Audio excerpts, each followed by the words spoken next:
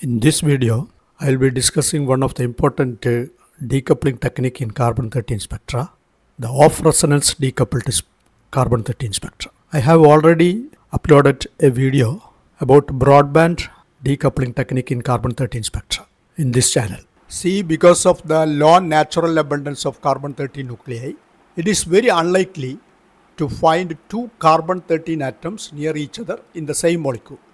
And so, we do not see spin-spin coupling between two neighboring carbon atoms in a carbon-13 spectrum. Because of low natural abundance of carbon-13 nuclei, it is very unlikely to find two carbon-13 atoms near each other within the same molecule. And that is why we do not see any spin-spin coupling between neighboring carbon atoms. Okay. But there, will, there may be heteronuclear coupling that is in between that is between carbon 13 atoms and hydrogen to which it is bound. Uh, such types of uh, coupling is called heteronuclear coupling carbon hydrogen coupling. You uh, you can see in the case of uh, uh, proton coupling it is homonuclear coupling that is proton proton coupling. Okay but in the carbon 13 coupling the coupling is in between carbon 13 and hydrogen. Okay such uh, coupling is called heteronuclear coupling. But you know the carbon proton coupling is actually a one bond coupling carbon single bond hydrogen. It is a one bond coupling. Carbon proton coupling is a one bond coupling and its coupling constant is very large. That is in the order of 100 to 250 hertz. That is why the difference between chemical shift delta nu and the coupling constant j is very small.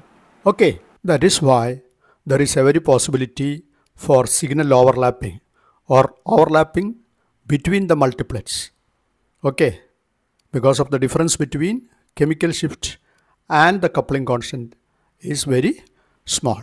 That is the reason why it is required to find certain decoupling techniques. Okay here in this video i will discuss one of the important uh, decoupling technique called off resonance decoupling in carbon 13 NMR spectra. In off resonance decoupling techniques, it is achieved by irradiating the sample at a frequency near to the resonance frequency of proton, not the frequency same as the frequency proton needed, but it is the frequency nearer to the resonance frequency of protons.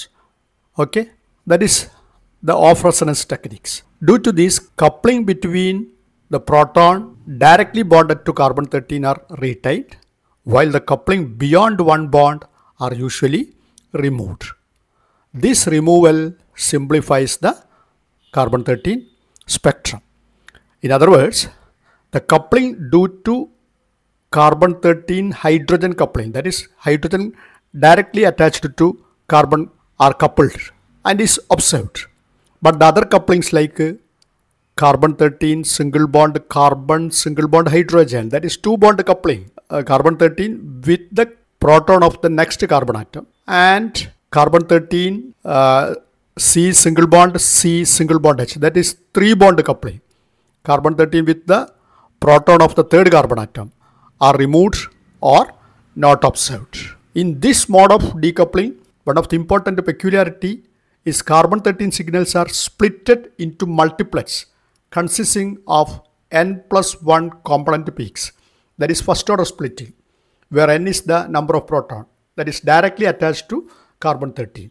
For example, in the case of CH2 group, carbon is directly attached with two proton and hence there are uh, two protons and hence the number of and hence the number n is equal to 2 and here the carbon signal splitted into a triplet because of the coupling between this carbon atom and the two attached hydrogen atom. Okay. See for example the off resonance decoupled spectra of 1 propanol. It is the off resonance decoupled spectra of 1 propanol you know the formula or i mean the structure of 1 propanol is this and so three types of carbon are there this CH2 carbon and this CH2 carbon and this CH3 carbon.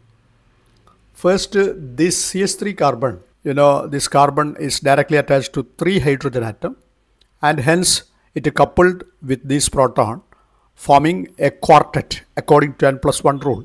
And so we'll get a quartet for this CH3 group. And you can see here is a CH2 group. This carbon attached to two, carb two proton and so n is 2 and according to n plus 1 rule the CH2 group gives a triplet or the carbon spectra splitted into a triplet.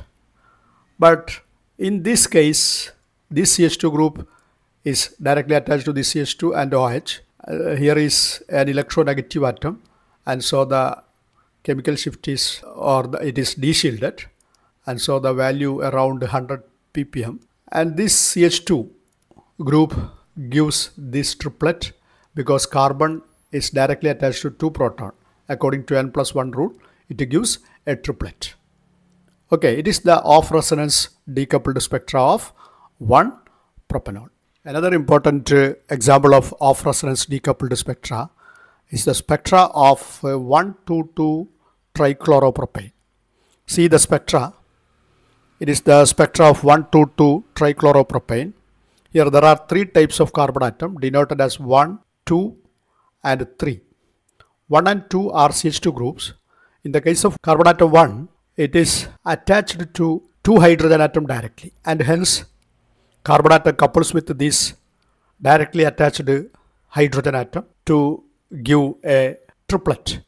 It is the triplet of first carbon atom. But the second carbon atom, it is a quaternary carbon atom. That is why it has no hydrogen atom directly attached. And so it gives only a singlet. It is a singlet of second carbon atom. But the third carbon atom, that is of CH3 group, carbon directly attached to three hydrogen atom. That is why carbon signal splitted into a quartet. You can see the quartet of third carbon atom here. Okay. With this explanation of off resonance decoupled spectra, I conclude my video. Thank you for watching.